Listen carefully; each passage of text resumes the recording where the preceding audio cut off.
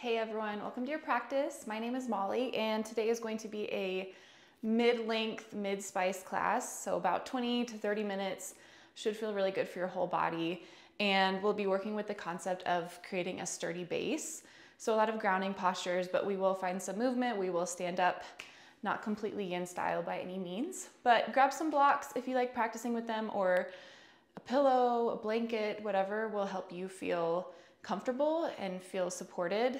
And then grab some music or some oils, candles, whatever you need to kind of set your space aside. And give yourself a few moments to arrive wherever you are.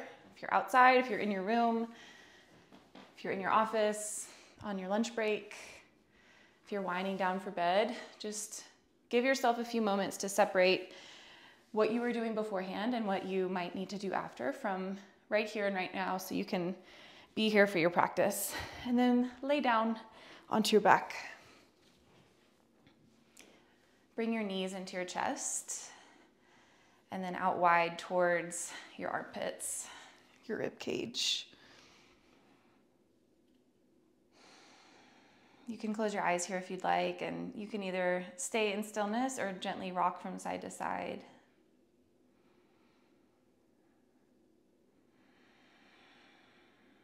And allow your breath to be soft but full. In and out through your nose. And then maybe notice on your inhale if you can soften your low back onto the mat. So get really wide with your skin. Exhale, gently let it go.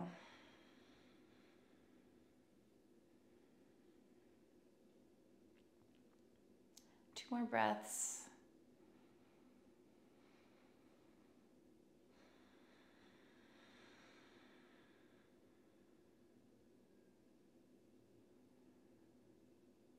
This last breath, let yourself become really heavy and feel supported from the ground underneath you. Like it's holding you, like you can release and relax into it. Take a deep breath in, expansive and soft and wide through your body. And exhale, let it go. You can blink your eyes open if you close them, and then Bring the soles of your feet down onto the mat really wide and your knees in the center to touch. From here, take some windshield wipers, right and left, dropping knees over and over. Take up space on your mat. You can have your arms wide if that feels like you can have a sturdier base to work from. Mostly just let it feel good in your hips, in your back, A Couple more rounds here.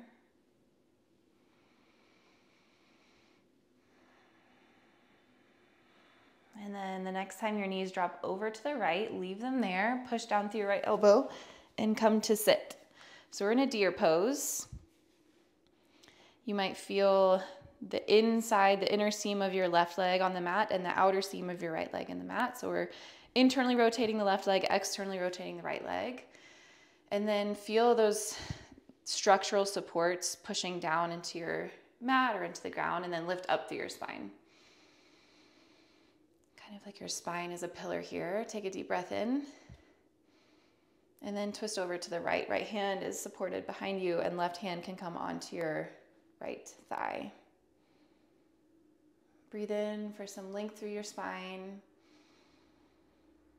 And then breathe out to twist a little deeper, peeling your right shoulder open and corkscrewing all of your organs kind of around your spine here. Release, twist the other way. So keep your legs as they are. Now left hand comes behind you and right hand comes onto your left leg. Inhale for some length again. Push down into the structural support you have. And then exhale to twist deeper. Lengthen and broaden across your collarbones. Open up through your heart. And gently release. One more breath, kind of in neutral. And then we're just gonna pivot our knees to the other side. So drop them down to the left into your deer sit. Again, feel the outer side of your left leg and the inner side of your right leg this time. Push down, feel supported. And then lengthen through your spine. On your next exhale, twist to the left. Left fingertips behind you for support, and right hand kind of creates that traction to twist deeper, but let it feel good, don't force it.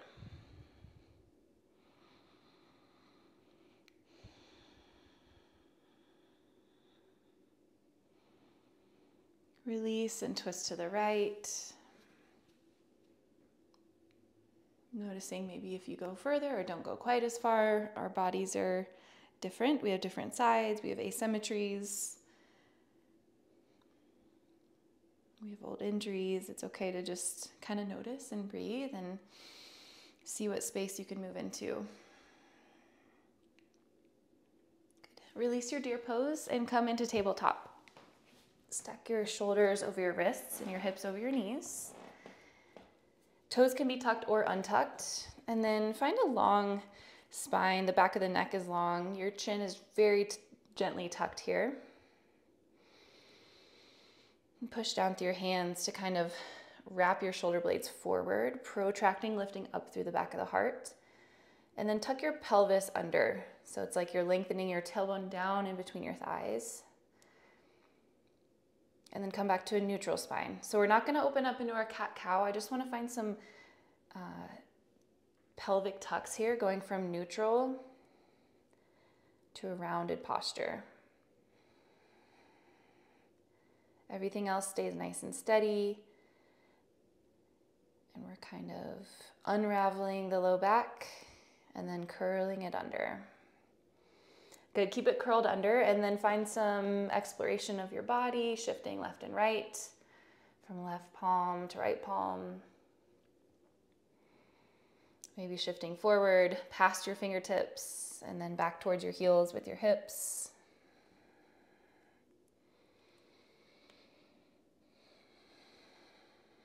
So throughout this, you might feel that just gentle engagement of your core as you're tucking your pelvis under. And then a couple big circles in one direction. Weight is shifting between both palms, both knees, maybe your toes tucked under, and then switch the direction of your circles.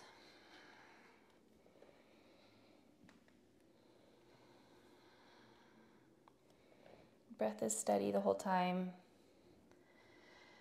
Finish up your last circle, come back to neutral, and then walk your hands forward a tiny step Tuck your toes if they're not already, and then push through your palms to glide your hips up and back to downward facing dog. And here, bend your knees as much as you need. Push forward through your hands to lift out of your shoulders. And then breathe in stillness for three breaths. Option to close your eyes and just feel what you're feeling. Let it feel good. Find some length through your spine, hamstrings.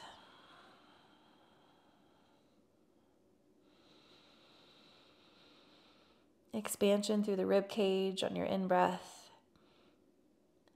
And then softly letting it go on your out breath. Good. Blink your eyes open. And similarly to our tabletop, we're just going to explore a little bit of weight shifting here. So Bring the weight over to the left side, feeling it kind of lift up and out of the right foot and right palm, and then shift over to the right, becoming lighter on the left side, becoming more grounded on the right side. And then shift forward into your palms a little bit, and back into your feet. Shift your weight into your right palm and your left foot. Notice how it feels or what it feels like to have that kind of support system for you. And then shift your weight into your left palm and your right foot.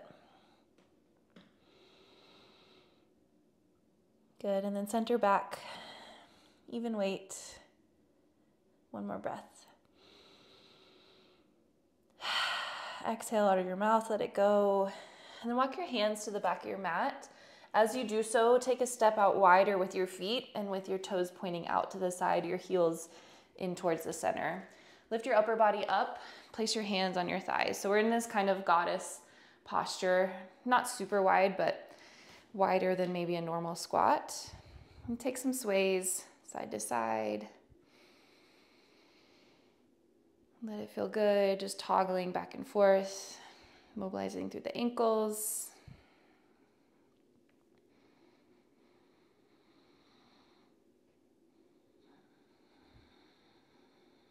Good. Bring your hands to the center of your heart and then sit down into your goddess squat here. So legs are strong.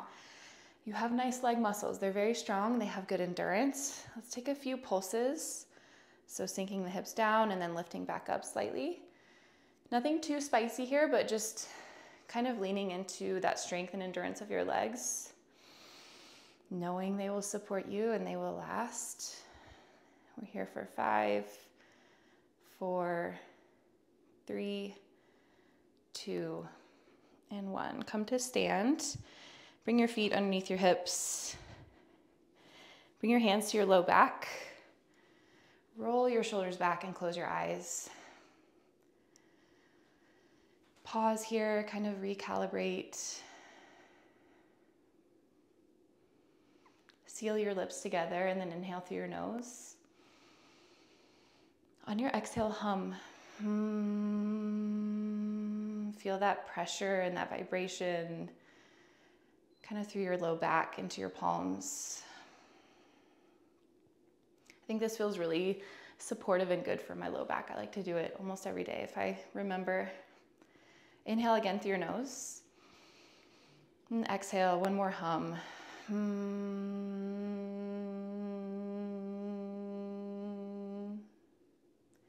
Keep going to the very end of your breath.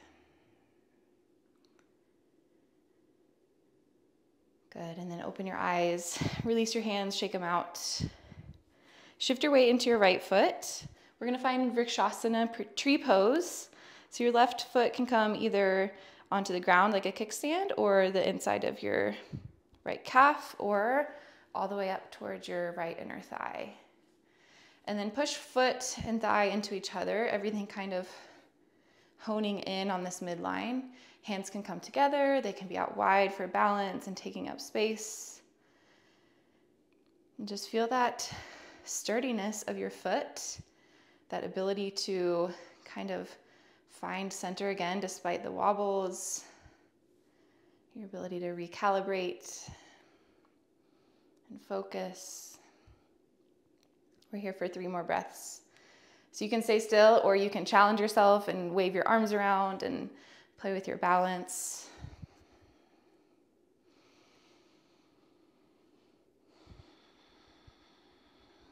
One more breath in.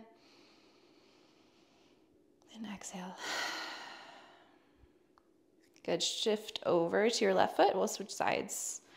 So feel the big toe, the pinky toe, the heel, all pressuring down on the mat. And then feel your muscles working in your foot as you lift your right leg. And that sole of the right foot can come anywhere along the inside of the left leg. But then once you find that contact, push into each other create that pressure, that structure. Then you can stay, you can move your arms around, you can challenge yourself and try to create wobbles and then come back to center, or just breathe. Two more breaths.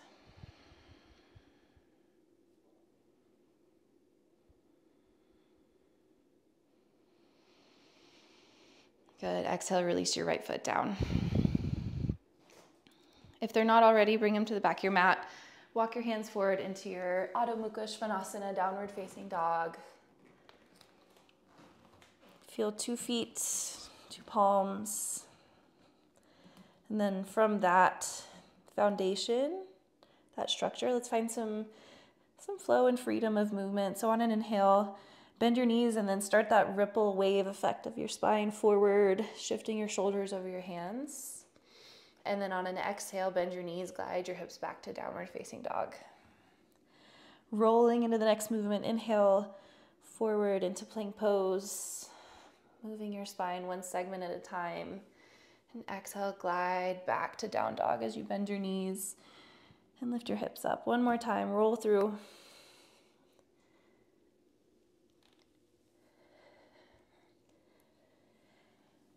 And we end up in our down dog. One breath in. Exhale, open your mouth. Let it go. Gonna drop down onto your knees and shins. Untuck your toes, sit your hips back to your heels, and then slide your palms back just in front of your knees. Virasana, kneeling posture, but we're supported in front of us, grounded here.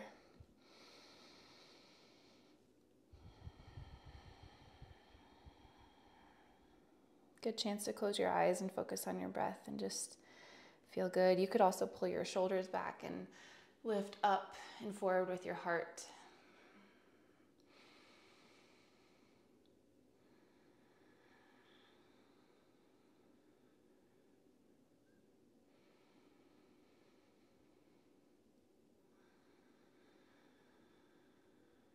And then drop down onto your forearms and elbows. You could rest your forehead on your palms in this modified child's pose. Start to soften again, take up more space on the mat. Feel your skin widen. You could also shift forward into kind of like a modified rabbit pose. So put your forehead on the mat and then lift your hips slightly so that you roll forward onto the top, the crown of the head.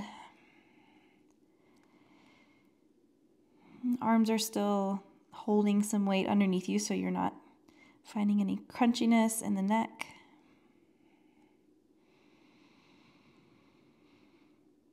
Three breaths wherever you are.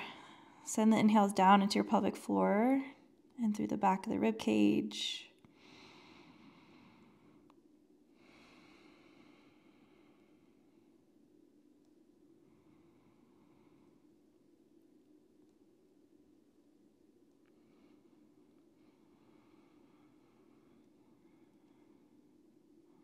Last full breath here. Exhale, let it go. Sit your hips back towards your heels. Walk your hands all the way under your body so that you create a nice stacked posture with your shoulders over your pelvis. And take some sways from side to side. Any final movements that might feel nice for you in your body right now. Any final grounding postures? Something that makes you feel present and steady in your body. And then we'll find stillness. If you're in your kneeling posture or wherever you are, close your eyes. And just follow the rhythm of your breath in and out.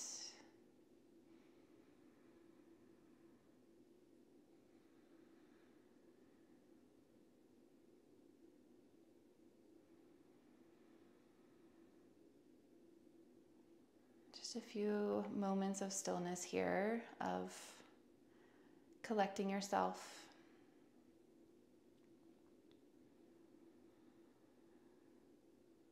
And if your mind has wandered from your breath, bring it back. You could also pay attention to the parts of your body that you feel in contact with the mat or with the earth, pushing down, feeling gravity, feeling supported, feeling that contact with your skin.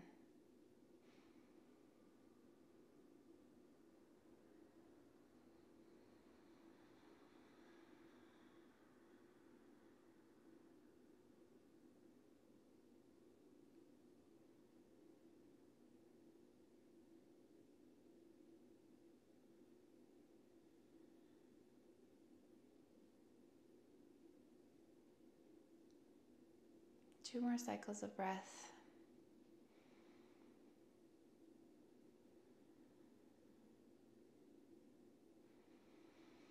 Final inhale, fill up. And exhale, open your mouth, roll out your shoulders, let the air go. Hands can meet in the center at your heart or at your third eye, your forehead. And then just a moment, a bow forward in acknowledgement of your practice and gratitude for it, in acknowledgement of yourself. And then start to slide your hands along your legs, blink your eyes open, take in the space around you. Notice how you feel. Hopefully, a little bit grounded. Hopefully, good in your body, moving through some simple stretches and movement patterns. I hope you feel great. Thank you for being here, and I will see you next time.